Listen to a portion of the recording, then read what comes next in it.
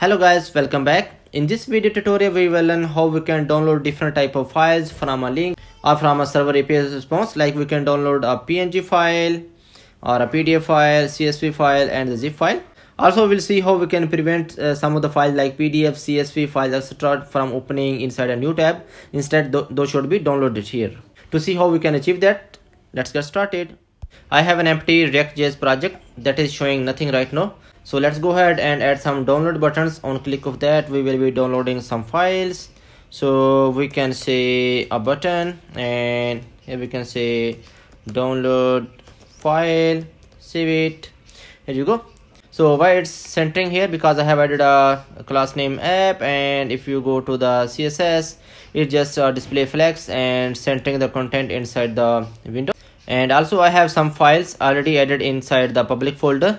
The type of files are csv the pdf the png file and the zip file.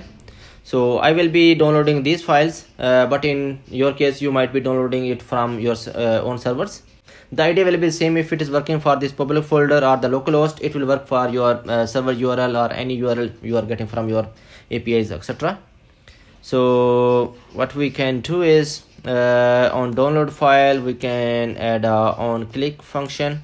And here we can say that download file at url and we can create this function. We can say copy and paste download file and we will pass it the url and uh, let's define the url for each of uh, these files so we can say const png file url is equal to and we can copy this one localhost and paste it here and then it will be the file underscore csv file underscore pdf file underscore png file underscore zip.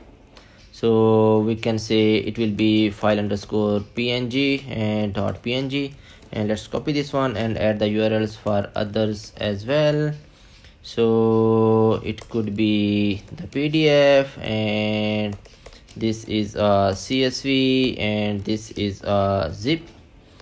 And here you can say pdf dot pdf and here you can say csv and here again you can say csv and here you can say zip and here again you can say zip right? And here you can uh, pass the url so instead of download file we can say download png file. And here you can pass the url png file url right? So let's copy this one and add the other buttons as well. So this will be pdf and this will be csv and this could be the zip. And here it could be the pdf and this is a csv and this is a zip right?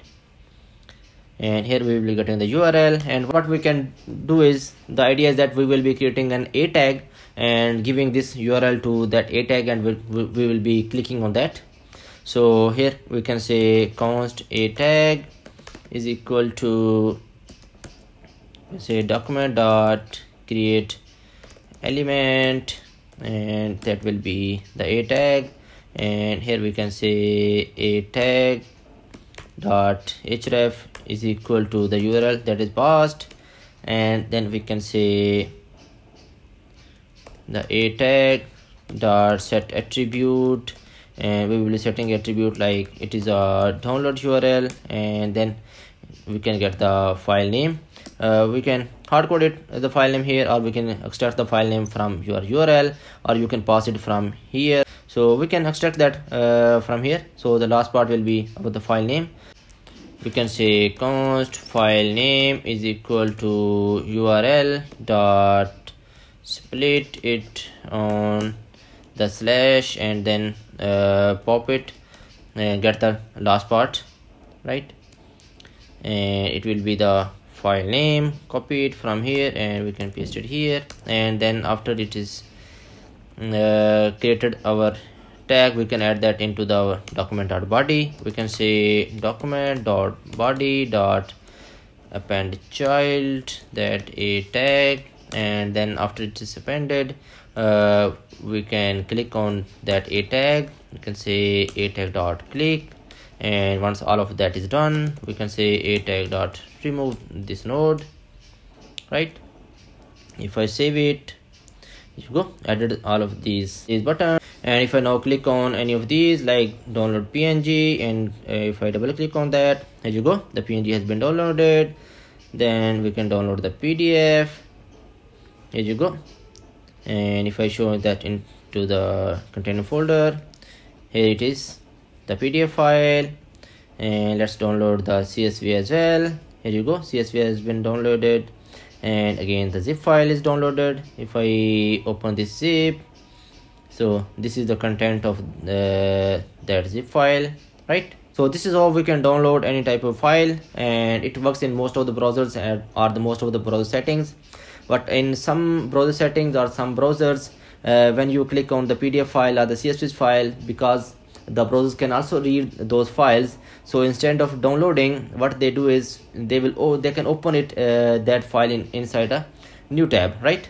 So to overcome that what we can do is we can create a blob uh, out of the url uh, we have and then we can download that. So instead of opening into a new tab it will uh, download that file to your computer right?